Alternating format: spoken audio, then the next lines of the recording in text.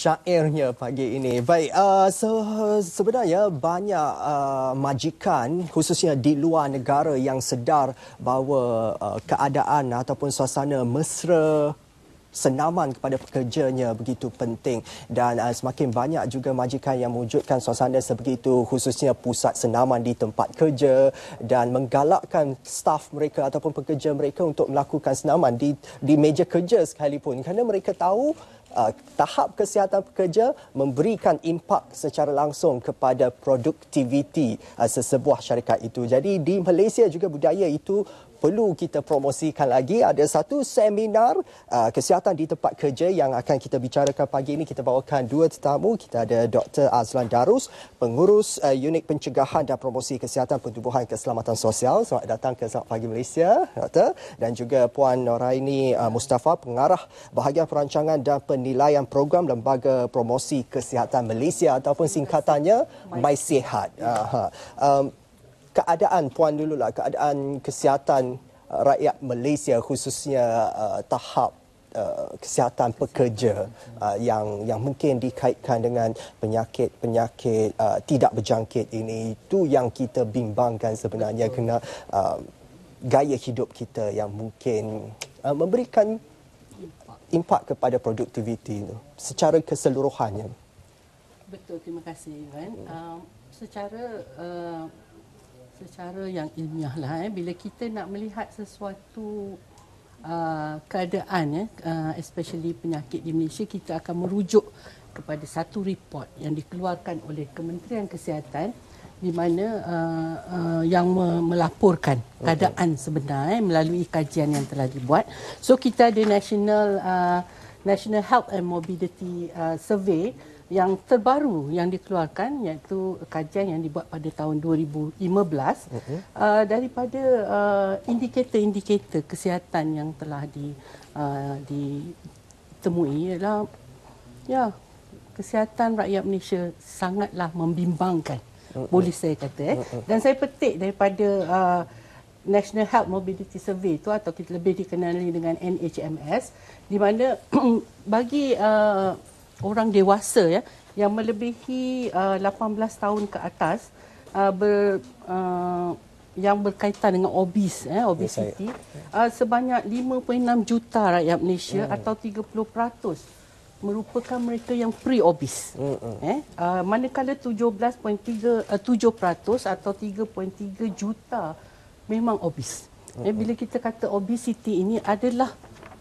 indikator-indikator yang menghala kepada uh, uh, kesihatan yang tidak baik iaitu uh-huh. mempunyai resiko menghadapi resiko untuk uh, mengalami uh, NCD itu sendiri penyakit tidak berjangkit eh uh-huh. uh, itu satu dan kalau kita tengok uh, uh, kanak-kanak juga eh kita uh-huh. ada satu juta rakyat Malaysia yang obes uh-huh. eh dan saya uh, pernah membuat projek memang sangat gemuk eh uh. Begitu juga kalau kita tengok indikator uh, penyakit eh kita kata diabetes katakan. Mm-hmm. Seramai 3.5 juta rakyat Malaysia yang di berumur di atas 18 tahun mm-hmm. adalah merupakan uh, penyakit menghidap penyakit diabetes itu dan 8.3% merupakan yang memang telah pergi ke klinik kesihatan hmm. untuk mendapat rawatan non diabetes eh hmm. manakala uh, 9.2% pula adalah merupakan undiagnosed dia tak tahu yang dia yeah. ada diabetes bila ada uh, saringan kesihatan baru dia terkejut Uh, things macam inilah yang membimbangkan kita. Rupanya tergolong dalam uh, golongan NCD itu. Tadi. Dan ya, ya. Uh, disebutkan tadi kenapa kita sebut kanak-kanak itu kerana mereka adalah pelapis modal Our insan future. kita. Ha, ya, ha itu ya. yang penting sebab itu kita berikan juga perangkaan kanak-kanak. Ini bukan sehari dua perancangan itu untuk jangka masa panjang. Di Pekeso juga mengendalikan kes-kes uh, liat uh, ilat ini ya. Uh, saya difahamkan dalam tempoh sedekat ini 10 tahun ini ia meningkat 100% uh, kes yang dikendalikan uh, oleh Perkeso berkaitan dengan keselamatan dan kesihatan pekerja.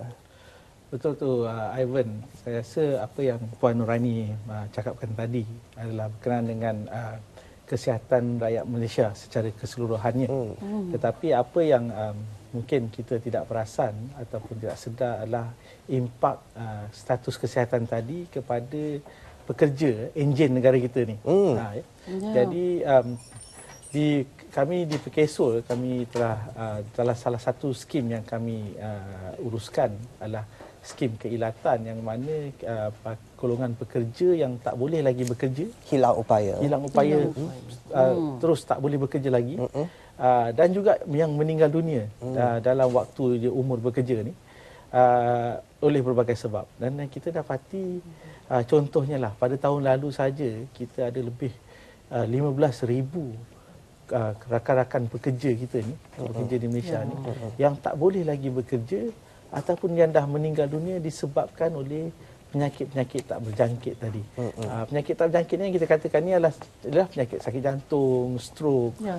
uh, rosak buah pinggang, uh, penyakit-penyakit yang kita kita katakan disebabkan oleh uh, gaya hidup tak sihat yang Ivan sebutkan tadi itulah. Yalah, uh. jadi itu kepentingan kepada kesedaran kepada pihak majikan dan juga pekerja juga yeah. untuk uh, kolaborasi ya untuk yeah. mewujudkan satu suasana dan kepentingan pada kesihatan Betul. itu. Bagaimana nak nak nak pastikan majikan ini betul-betul ambil uh, penting dan juga ambil berat tentang kesihatan pekerja sebab dia dia mungkin dia tak tahu logiknya kalau pekerjanya kurang sihat nanti produktiviti uh, syarikat yang akan terjejas. Hmm. Um, saya rasa um, mungkin ramai juga majikan yang sedar tentang perkara ini ataupun uh, memang mereka melihat perkara ini berlaku setiap hari. Yeah. Uh, sebab bila pekerja yang tidak sihat ni satu yang uh, produktiviti mungkin kerja lambat sikit yeah. ataupun kurang cergas tak efisien tak efisien uh, dan kita selalu juga bercakap kalau uh-uh. tentang kesihatan pekerja ni uh, ketidakhadiran cuti sakit uh-uh. tapi kita juga jangan lupa kos-kos lain kos perubatan kepada majikan tersebut yeah. um, pekerja yang hadir tapi dalam keadaan tidak sihat Uh, kita panggil presentism hadir tapi sebenarnya kerja pun tidak 100%. Uh, uh, uh. Ini semua yes. kos-kos yang ada di di di tempat kerja. Um, tapi ada satu aspek lagi Ivan yang sebenarnya kita nak nak nak tekankan adalah apabila kita bercakap tentang gaya hidup sihat atau mengambil inisiatif untuk menjaga kesihatan diri, dia mesti menyeluruh. Uh, bukan sahaja di rumah waktu petang balik ke rumah buat senaman dulu. Riadah bersama keluarga uh, dan sebagainya. Ataupun waktu malam uh-uh. makan malam baru nak jaga makan.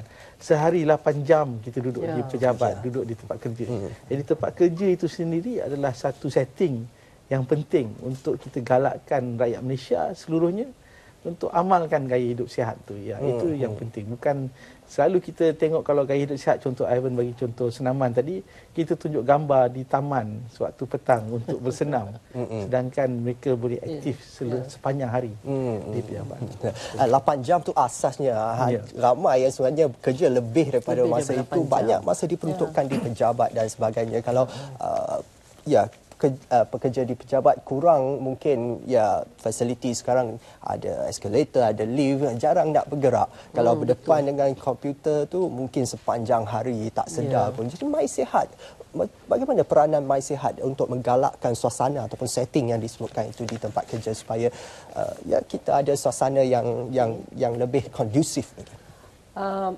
Hmm, peranan My Sehat ya. Peranan My Sehat lebih kepada mempromosikan kesihatan. Mm-hmm. Eh kalau kita tengok akta lembaga promosi kesihatan pun uh, telah menggariskan fungsi My Sehat itu. Mm-hmm. Eh di antaranya adalah uh, merancang, melaksanakan dan juga to initiate program. Mm-hmm. Uh, pokok uh, perkataan pokok di sini ialah kehidupan yang aktif. Ya, mm-hmm. saya sambung sikit apa yang Dr. Azlan yeah. kata tadi, kehidupan yang aktif. So macam mana kita tidak melihat satu hari uh, 30 minit, 40 minit, tapi kita tengok daripada bangun pagi sampailah nak tidur malam. Mm-hmm. So itulah yang My Sihat buat. Kita ada merancang, mem, uh, apa ni, mendesign program-program supaya community eh, kita punya target adalah komuniti yang sehat mm-hmm. supaya komuniti yang sehat ni tidak jatuh sakit. Mm-hmm. Itu yang kita kata promosi kesihatan eh. Mm-hmm. Di samping itu MySight juga uh, uh, diberi peranan untuk membina upayakan NGO-NGO. Mm. Eh, kalau kita kata uh, jabatan nak buat memang tak terbuat. Tetapi kita ramai NGO, banyak NGO di Malaysia ni yang boleh berperanan untuk menggerakkan advokasi, mempromosikan uh, kesihatan. Hmm. Eh dalam erti kata lain kita uh, fokus bukan saja 30 minit ataupun 30 tiga kali seminggu tetapi kita uh, we are talking about active living. Yeah. Active living itu sangat penting bagi rakyat Malaysia. Baru-baru ni ada satu program uh, yang dilaksanakan di pelbagai peringkat fit Malaysia oleh Yeah. Kementerian uh, Belia, Belia dan dan Sukan. Itu satu program yang sangat menyeluruh Oh, melibatkan yes. semua uh, peringkat masyarakat dan QPAC sebelum ini juga mencadangkan satu jam diperuntukkan kepada pekerja untuk buat senaman zumba Ya, ke ya, ya, apa ya. sahaja.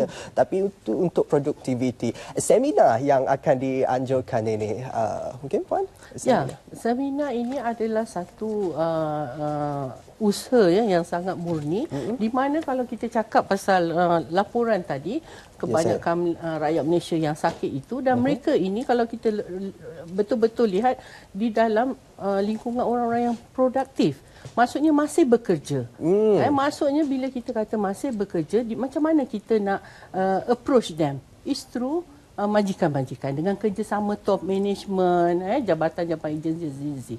So itulah sebabnya kami berkolaborasi. This is actually kolaborasi antara Perkeso dan juga MySihat untuk menyampaikan mesej kepada uh, CEO-CEO, pengarah-pengarah urusan supaya me- memandang berat tentang uh, status kesihatan pekerja kerana dia memberi implikasi-implikasi kepada organisasi itu sendiri terutama dari segi kos. Eh, kos ini uh, kalau kita tak jaga uh, uh, uh, kita punya institusi kesihatan akan kolaps. Ya. Ya. Uh, so uh, this is very important.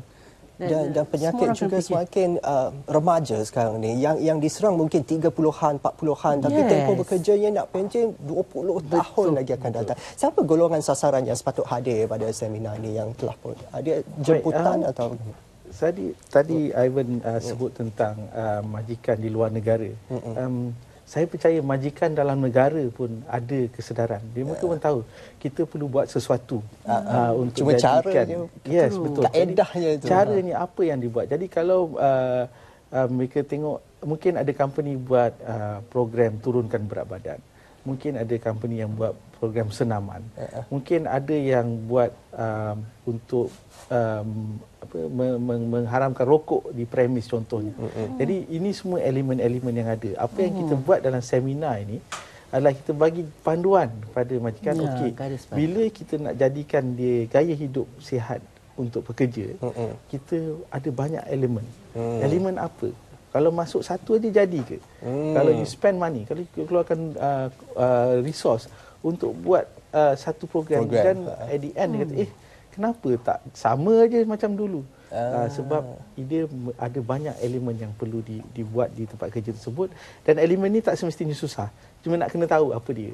Jadi itu yang kita bentangkan di seminar ini, kita sasarkan kepada uh, pengarah urusan, CEO company-company luar sana, uh, pengurus-pengurus human resource, sumber manusia. Sebab selalunya bila cakap pasal kesihatan pekerja ni bagai sumber manusia lah. Ya. Kena, uh, pengamal keselamatan kesihatan pekerjaan, mereka pun selalu dipertanggungjawabkan.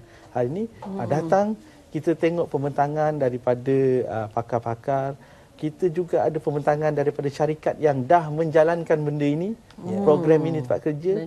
Bagi contoh, uh, boleh dibuat. Bukan ini kita bukan bercakap tentang syarikat besar international Ya. di luar negara sana. Uh, kita cakap tentang syarikat yang ada di Malaysia ni. Dia bagi tahu. Ya, kami pun dah buat. Eh, Begini bila caranya. s- eh, Itu bila sebut tentang majikan ni mungkin kebimbangan mereka mengenai kos lah nak buat satu program nak uh, laburkan masa dan sumber dan sebagainya tapi itu memerlukan kesinambungan itu yang kita sebutkan sebagai satu budaya supaya ia berterusan Uh, bagi yang berminat untuk menyertai uh, seminar ini mungkin Puan Okey, uh, Maklumat. sebenarnya uh, bila kita kata uh, active living ni melibatkan kos, I think I nak betulkan sikit lah. Aha. Sebenarnya apa yang kita nak buat active living ni adalah uh, mereka uh, tidak duduk kalau kata depan komputer pukul 8 sampai pukul 5. Mm-mm. Ya. So mereka boleh after 2 jam duduk mereka boleh berjalan di keliling pejabat dia. Uh, in fact uh, di di banyak negara eh Uh, di kita tengok di pejabat-pejabat dia design environment di dalam pejabat tu di mana orang kena jalan. Hmm. Ha, tidak semuanya reachable bila you duduk you boleh ambil air sana tidak. Eh maksudnya bila kita duduk setengah jam satu jam kita kena bangun dan berjalan. Ha, itu yang di di, uh, di international uh, uh, uh, apa organisation eh yang kita dapat lihat. Maksudnya it's not much on cost tetapi ialah behavioral change tu. Ha, so kalau katalah event event kata tadi bahawa budaya. So kalau budaya kita aktif, insya-Allah rakyat Malaysia akan menjadi lebih sihat. Ya, kerana perlu lebih banyak bergerak lagi. Untuk kembali kepada seminar itu yang akan diadakan pada 14 Betul. Februari 2017 Betul. ya. Bagi yang yang nak sertai masih sempat lagi? Sempat. Uh, Ivan saya serulah kepada semua uh-huh. yang berminat okay. uh, uh, memerlukan uh-huh. knowledge ini uh, boleh lawat kepada uh, laman web www.sehat.perkeso.gov.my. Seperti yang tertera ni kita ada okay. uh, nombor yeah. telefonnya Dan, juga. Yes. Uh, seminar ini di, dikenakan charge. Uh-huh. Okey, jadi kalau uh, lawat awal dan daftar awal sebelum 31 Disember uh-huh. akan ada apa uh, early bird charges. Uh, kalau lewat dia akan jadi late bird charges lah. uh, begitulah. Jadi uh, dan ia boleh diklaim semula daripada Perbadanan Tabung uh, latihan sumber manusia ah, HRDF claimable. claimable. Jadi saya seru kepada semua majikan luar sana identify uh, your people yang patut pergi uh-huh. lawat yes. ke laman web tersebut uh-huh. untuk um, mendaftar pada uh-huh. uh, seminar ini tempatnya pun terhad kita uh-huh. tak buat uh, uh, besar lah jadi, Sem- uh, semua semua syarikat yang dialu-alukan uh, kerana ini satu yang penting juga uh, untuk sama-sama kita sertai terima kasih ya, kepada doktor ya. dan juga puan uh, Noraini dengan perkongsian itu selamat